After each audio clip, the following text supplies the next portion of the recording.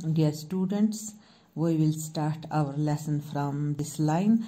Be still beast after my own heart, chance your mahood for ten days, and now bid me goodbye. Jewel of all created elephants, lily of the herd, be good and may God bless you. बच्चों, जिस वक्त ये मैंने आपको पहले ही बोला, ये जो देसा था, ये शराब पीने के लिए अपने गाँव में गया, अब इसने अपना ये एलिफेंट जो था, जो इसके पास ये मोती गज एलिफेंट था, ये इसने दे दिया अपने एक साथी चहन को, और चहन इसके साथ दस दिनों के लिए काम करना चाहता था। अब अब देसा ने इसको अलविदा कहा और देसा चला गया। Moti Guj put his trunk round Deesa and swing him into the air toys that was his way of beating him goodbye जाते जाते मोती गज ने देसा को अपने सौंड में उठाया और उसको हवा में घुमाया। ये उसको अपनी तरफ़ से एक गुड बाई कहने का तरीका था। He will work now said Deesa to the planter ने प्लांटर को कहा, अब ये आराम से काम काम करेगा? क्या आप मुझे जाने की इजाज़त है? Before the planter noted Deesa dived into the woods Moti Guj went back to dig out stumps अभी प्लांटर ने कुछ जवाब दिया ही नहीं था। देसा चला गया दरख्तों के पीछे, अपने गाँव की तरफ़, और मोती गज काम के काम के लिए चला गया। फिर से वो तने उखाड़ने के लिए निकल गया। Chihun was very kind to him Chihun उसको बहुत अच्छे प्यार से पालता था बट मोती गज फेल्ट अनहैप्पी एंड लॉनली लेकिन मोती गज बहुत ही नाखुश था और अपने आप को अकेला महसूस करता था। अकेला वो इसलिए महसूस करता था क्योंकि उसको देसा के साथ आदत थी। नॉनथलेस ही वर्कड वेल वो अपना काम, मोती का जो है, वो अपना काम बहुत अच्छे से कर रहा था। And the planter wandered Deesa had wandered along the roads till he met and marriage possession of his own caste drinking and dancing he lost count of days Deesa जिस पर देसा अपने गाँव चला गया, हाथी अच्छे से फिर से काम करने लगा। देसा हैड वॉन्डर्ड देसा जिस वक्त दस दिन के बाद वापस आने लगा, उसको रास्ते में एक शादी मिली। अब जो उसके अपनी जात की थी ऑफ़ हिज ओन कास्ट उसके अपने खानदान के लोग थे, वहाँ उसने फिर से एक बार शराब पिया और डांस करते करते इतना मस्त हो गया, उसको वापस आना भूल गया। उसको ये अपने दस दिन काउंट करने भूल गए। The morning of the eleventh day David ग्यारहवीं दिन सुबह एंड दियर रिटर्न नो देसा, जब देसा मुड़ के नहीं आया Moti Guj was lost from his ropes Moti Guj ने अपने रस्सियों को खींचा और तोड़ दिया।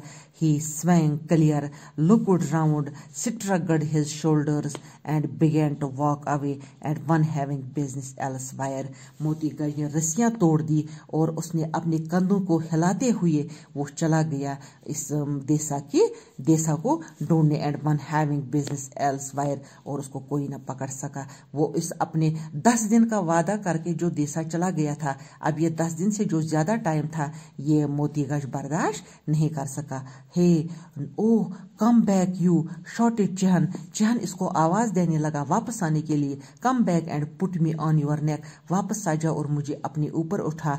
यू विकड माउंटेन रिटर्न और I will bang every toe of your four four foot अगर आप वापस नहीं आ गए तो मैं फिर से आपके पैर मैं आपके पैरों को मारूँगा। अगर आप मुड़ के नहीं आए, Moti Guj said gently but did not obey Moti Guj अपने वादे के मुताबिक जो उसको देसा ने किया था, उस वादे के मुताबिक जो देसा मुड़ के नहीं आया ही डिड नॉट ओबे उसने बिल्कुल चिहम की नहीं सुनी। Ran after him with rope and catch him up Chihun दौड़ गया उसके पीछे और उसको रस्सी पकड़ के वापस लाना चाहा। Moti Guj put his ears forward and Chihun knew what that mean to be pretended to be brave जब इसने अपने कानों को खड़ा किया मोतीगंज ने, तब जहम ने देखा कि कोई बात है इसमें, कि कोई बात है आज।